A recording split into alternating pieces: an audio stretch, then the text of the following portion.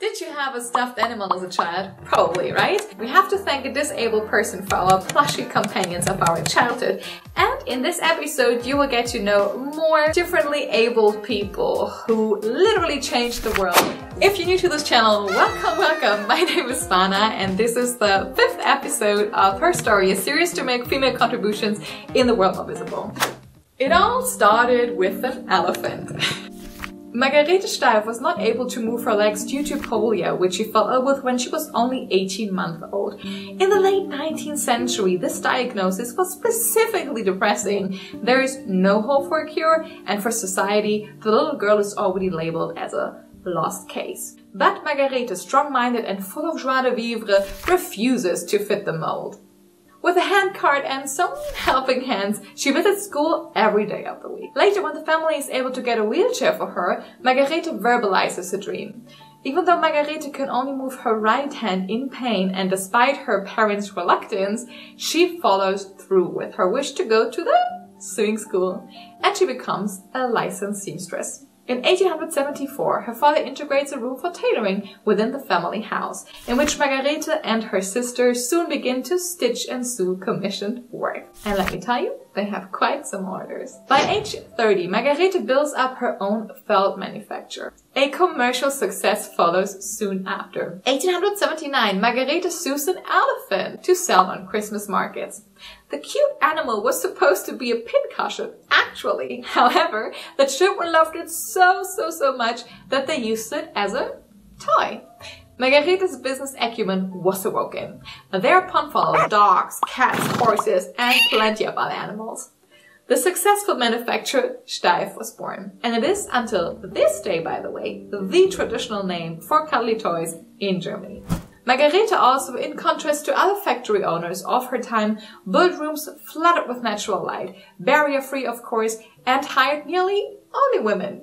She also gave out private loans for workers in need, sang and celebrated with them, and gave them presents for Christmas because she knew of all the struggles being a woman and then also being differently abled, she basically became something like a dream employee. She was super understanding, she was super supporting, and she made everything as accessible as possible. In 1901, the Steiff company then begins to export their toys to the US, and indeed, Steiff is also the family to which the creation of the world famous teddy bear is attributed to. Yes, Really?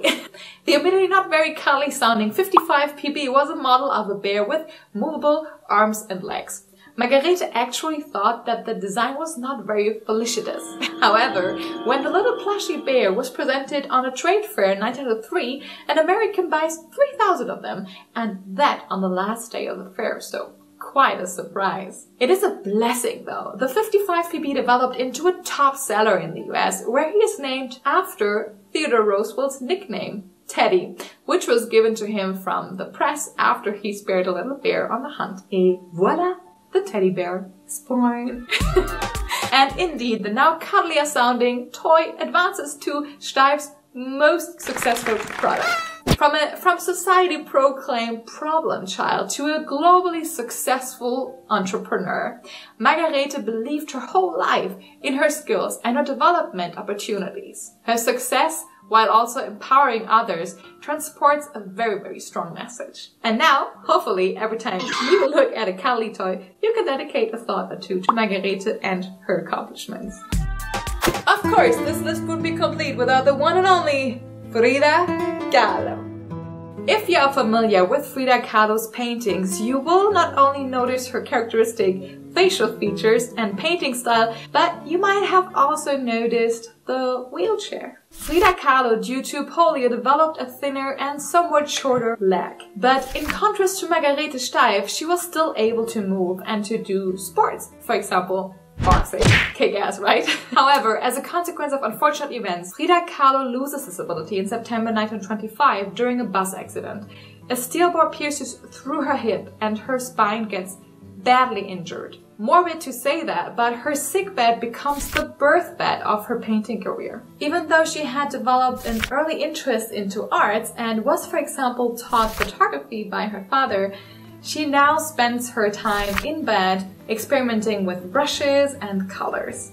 Against the prognosis of her doctors, Frida will actually be able to walk again, but only after roughly 35 surgeries, an enduring process of pain and recovery. She will never fully heal. Her whole life, pain is a known companion, which she expresses in a letter from 1926. A little while ago, not much more than a few days ago, I was a child who went about in a world of colors. Everything was mysterious.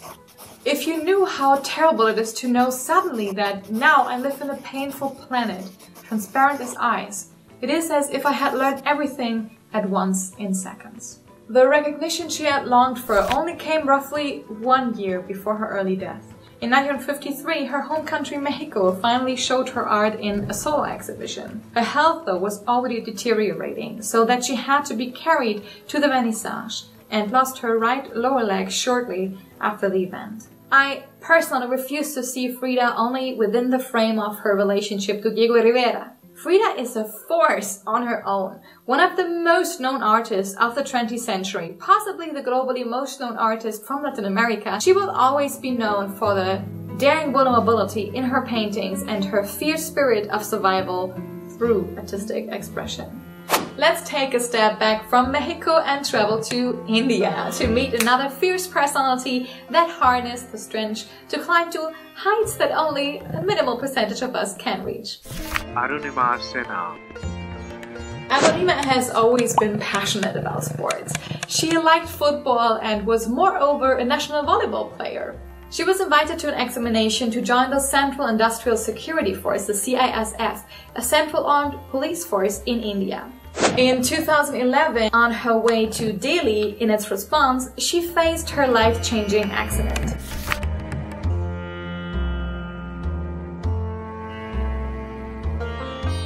Robbers attack her on the train. Since she resists, she gets pushed out of the running train, hit a train, and then ultimately fell on the railway track. Another approaching train on a parallel track will then crush her leg below the knee. She spends the whole night screaming and fighting off rats when the next day villagers find her and rush her to the hospital.